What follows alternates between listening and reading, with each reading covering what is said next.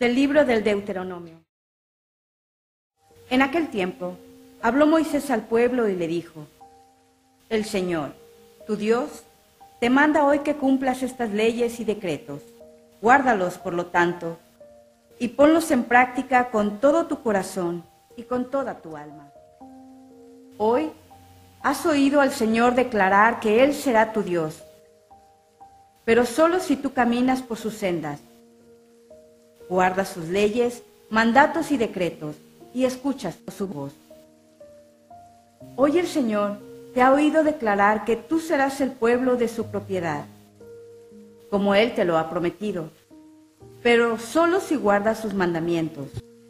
Por eso, Él te elevará en gloria, renombre y esplendor, por encima de todas las naciones que ha hecho, y tú serás un pueblo consagrado al Señor, tu Dios, como Él te lo ha prometido. Dichoso el que camina en la voluntad del Señor.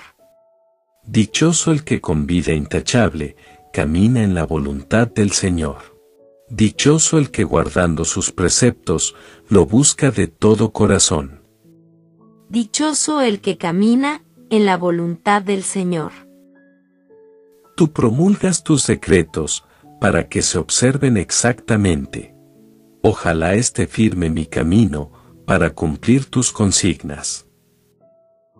Dichoso el que camina en la voluntad del Señor.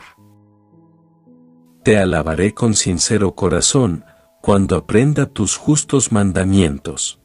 Quiero guardar tus leyes exactamente, tú, no me abandones. Dichoso el que camina en la voluntad del Señor.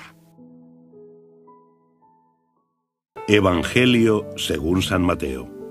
En aquel tiempo Jesús dijo a sus discípulos, Oísteis que fue dicho, amarás a tu prójimo y aborrecerás a tu enemigo.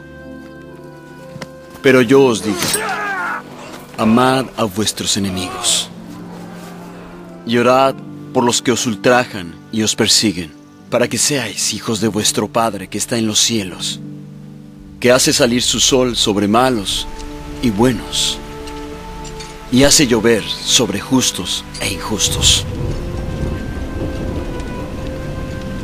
Porque si amáis a los que os aman, ¿qué recompensa tendréis?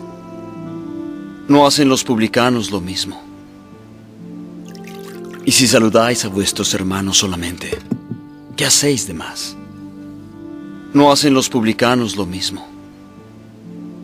Sed, pues, vosotros perfectos, así como vuestro Padre que está en los cielos es perfecto.